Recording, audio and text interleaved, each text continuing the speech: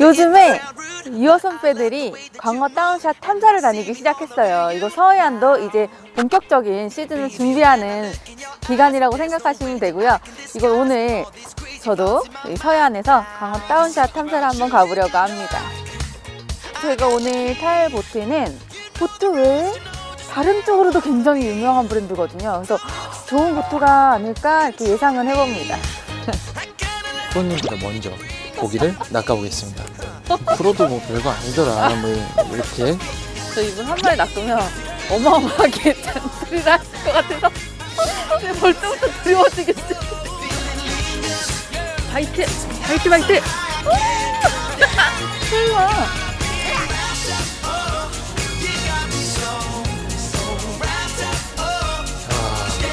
하루 종일 잔소리.